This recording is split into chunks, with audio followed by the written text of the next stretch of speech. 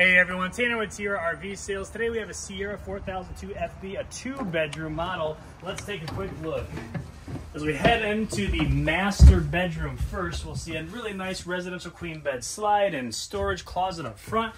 Full master bath with a really nice shower storage, little seat in that shower. Heading down to the main living area here, we do have four table and chairs a couch. I love this kitchen with the island and a residential refrigerator. Something really unique behind the entertainment center is all this extra storage.